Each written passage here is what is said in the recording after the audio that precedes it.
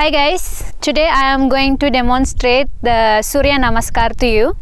So Surya Namaskar, it's been my daily activity in the morning time. And Surya Namaskar, it is uh, coming from the Sanskrit uh, language in which Surya means sun, Namaskar is salutation. So this Surya Namaskar it's have a lot of beneficial for our many system in our body like nervous system, digestive system, uh, cardiovascular system, muscular system also. This Surya Namaskar we can do in the morning uh, as well as we can do in the evening also and this surya namaskar it is very good for the maintaining the our body healthy. And this is also good for people who have the insomnia. When people who have insomnia by regular practice of the surya namaskar it can give the uh, nice sleeping make the menstruation cycle become regular for the ladies who have a problem of irregular cycle of the menstruation and nowadays also for this surya namaskar also practice for the pregnant lady but we have to consult to the doctor because in some uh, certain of the month it will be prohibited. So consultation to the doctor it is very helpful. And now i'm going to practice surya namaskar to demonstrate that to you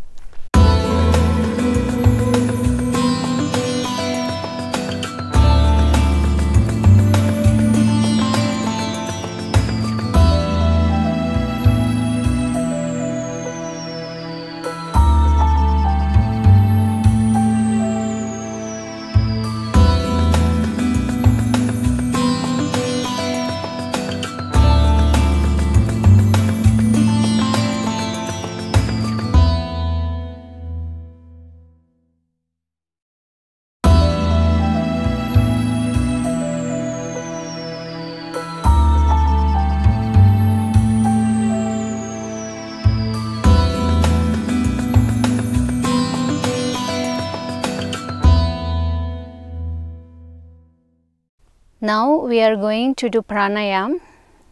The hand is in chin mudra. So we have to put both hand in the knee. Nadi is a Sanskrit word. The meaning of nadi is a channel or flow.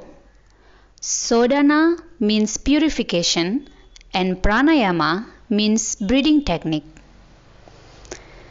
Nadi are subtle energy channels in the human body that can get blocked due to the various reasons.